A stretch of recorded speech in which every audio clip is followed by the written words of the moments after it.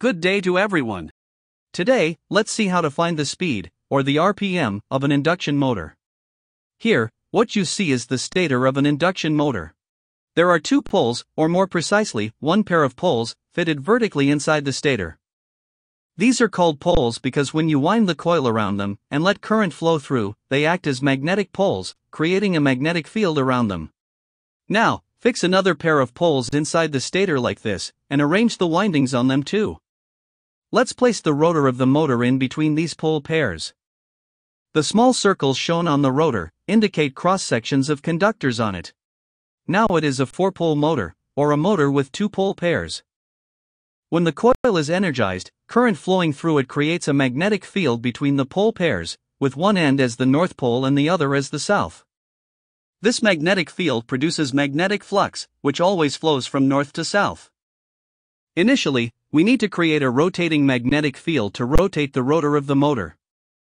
Three phase motors automatically produce this rotating magnetic field, as their line voltage pulsates with a 120 degree angle difference.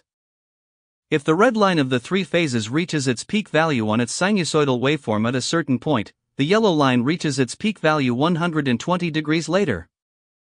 Similarly, the blue phase reaches its maximum value another 120 degrees later, creating a rotating magnetic field in the direction of RYB. Single phase motors also produce a rotating magnetic field, but they need a capacitor at the start to generate the additional phase with a different angle to initiate the rotation of the magnetic field. When the conductors on the rotor cut the magnetic flux in the rotating magnetic field, current is generated in these conductors. This current produces torque, which acts perpendicular to the conductors on the rotor. As a result, the rotor starts to rotate, following the rotating magnetic field in the same direction. Generally, the speed of the rotating magnetic field is called the synchronous speed of a motor. You will notice that when the rotor reaches synchronous speed, no current flows in the conductors, since they are no longer cutting the flux lines. Consequently, there is no torque to drive the rotor, and the rotor speed will decrease until it starts cutting the magnetic flux lines again.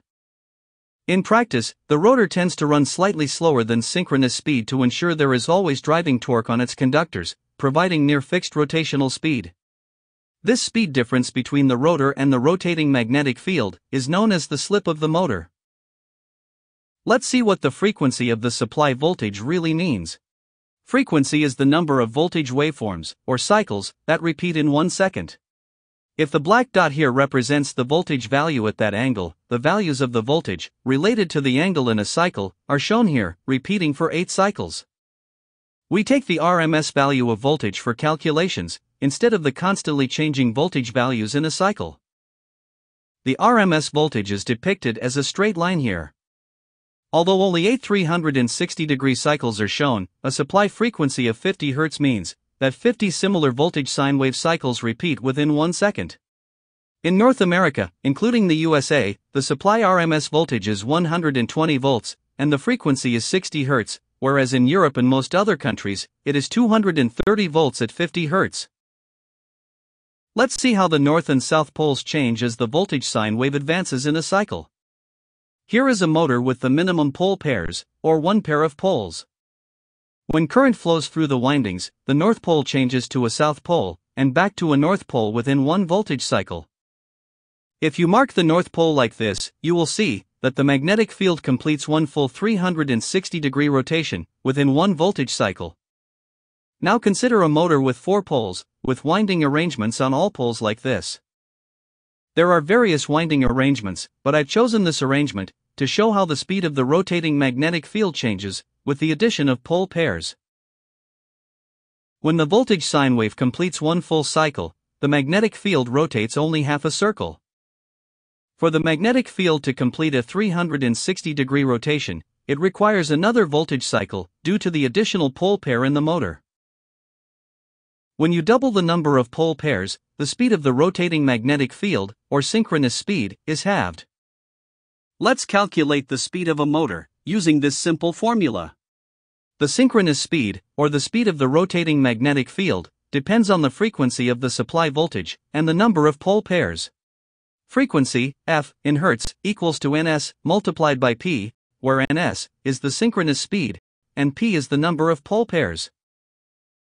In this example, it says to calculate the speed of the rotating field of a two-pole motor in revolutions per minute if the supply frequency is 50 Hz. From the formula, the speed of the rotating magnetic field is frequency divided by the number of pole pairs. Since a two-pole motor has only one pair of poles, you can divide 50 by 1 to get the speed. Additionally, to convert revolutions per second to revolutions per minute, that is RPM, multiply by 60. This shows that this motor has a rotating magnetic field speed of 3000 rpm. If this question changes to a motor with two pole pairs, the synchronous speed is 50 divided by 2. After multiplying by 60 to convert to rpm, you get a synchronous speed of 1500 rpm for this motor. As we noted earlier, in practice, the rotor tends to run a bit slower than the synchronous speed to ensure there is always driving torque on its conductors. This speed difference between the rotor and the rotating magnetic field is known as the slip of the motor. It is more common to refer to slip as fractional slip, which is dimensionless and calculated by taking the difference between the two speeds and dividing by the synchronous speed. Since slip has no dimensions, you can use RPM or revolutions per second in this equation. Let's solve an example. It says to find the fractional slip of a three-phase, four-pole motor if the supply frequency is 50 Hz and the rotor speed is 1440 rpm. From the first formula, the synchronous speed is 50 divided by 2. And after multiplying by 60, you get 1500 rpm. Since n, or the rotor rpm, is 1440, fractional slip s is the difference in speeds, divided by 1500 you get 0.04 as the fractional slip of this motor, which can also be expressed as a percentage slip of 4%.